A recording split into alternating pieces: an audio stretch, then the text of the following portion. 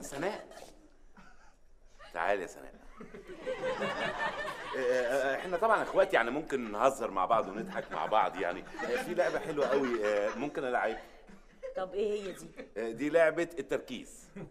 آه طب إزاي دي وريهاني مش عارفاها. مش عارفاها؟ لا مش عارفاها. لعبة التركيز. بصي تخلي صباعينك الاثنين دول يلمسوا بعض من غير ما تكوني آه، باصة عليهم خالص يعني. بصي أنا مغمض عيني أهو وصباعيني هم إيه لازقين في بعض. كده ماشي أنا يا ابني اللي معلماها لبنتك أصلا. أنا اللي غلطان يا سلام. أنا اللي غلطان. ده أنا كنت بفكر أجيب لك فستان جديد لما الاهلي يغلب برشلونة. ماشي. يا ياسمين يلا يا ياسمين عشان نجهز نفسنا. يلا يا حبيبتي عشان نروح جنينة الحيوانات. أوكي بس الأول اعملي لي التسريحة بتاعتك. حاضر يا حبيبتي. هي أنا بحبك قوي يا تمثيليه وأنا كمان بحبك قوي يا ياسمين.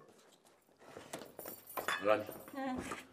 أنا ملاحظ إن ياسمين متأثرة قوي بسناء أختي. طب وإيه المشكلة؟ ما هي عمتها. أيوه بس المفروض تتأثر بيا أنا. أنا أبوها برضو. ليه يا ترى؟ آه هترجعي تاني تقولي لي عشان موضوع الكورة.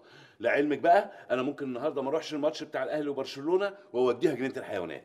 بجد يا عادل؟ آه طبعا بجد. أنا عارف إن انت زملكاوية ونفسك الأهلي يتغلب. بس أنا كمان مش هتفرج على الماتش. أهم حاجة بنتي. ياسمين؟ يلا يا حبيبتي اوديكي جنينة الحيوانات. إيه ده؟ انت بتقول إيه يا عادل؟ عادي أنا ابوها وهي عايزة تروح جنينة الحيوانات وهوديها. يلا ياسمين. طب وطن سناء طنس أنا هنلاقي زيها هناك في الجنينة كتير. عادل لو سمحت عايزاك في كلمة جوه. عادل عايزاك في نفس الكلمة جوه. إيه الكلام العجيب اللي أنتوا بتقولوه ده؟ ياسمينة جميلة انت جهزي ماشي؟ على ما اخرج واخدك ونروح جنينة الحيوانات. أجهز إزاي يعني؟ اجهزي بقى يعني فك الشعر العجيب اللي سناء عملته لك ده يا حبيبتي كده اهو. إيه الكلام الفارغ ده؟ أكيد عايزاكي تبقي شبهها وخلاص. اعملي شعرك آه، زي باباكي كده. ها؟ قصير يعني قصير ماشي؟ جاي على طول.